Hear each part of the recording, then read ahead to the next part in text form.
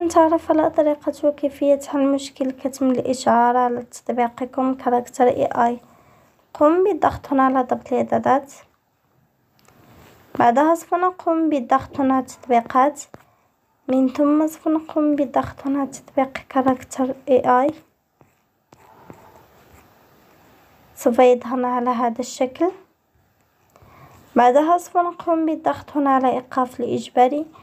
ثم سوف نقوم هنا على الموافقة بعدها سوف نقوم هنا على مكان التخزين بعدها سوف نقوم هنا على مسح التخزين مؤقت بعدها سوف نقوم بالذهاب إلى متجر جوجل وهنا سوف نقوم بالبحث عن تطبيق Character AI سوف يظهر على هذا الشكل وعندما تجدون هنا تحديد قم بضغط عليه وسيتم تحديد تطبيقكم Character AI.